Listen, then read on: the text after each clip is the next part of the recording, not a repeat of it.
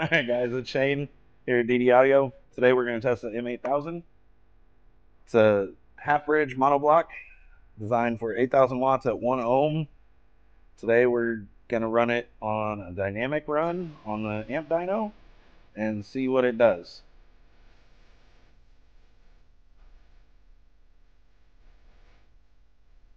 Get this all set.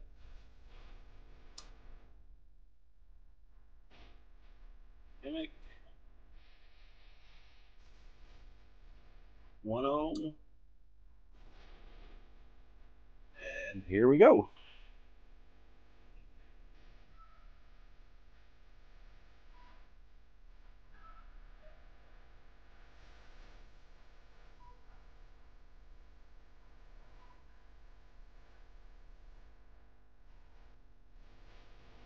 We got 10,710 watts in a 1 ohm at 15.15 volts. This amplifier will get down. If you guys share and like enough, we'll show you what it does at half ohm. All right, you know what to do. Share, like, comment, and we'll show you half ohm.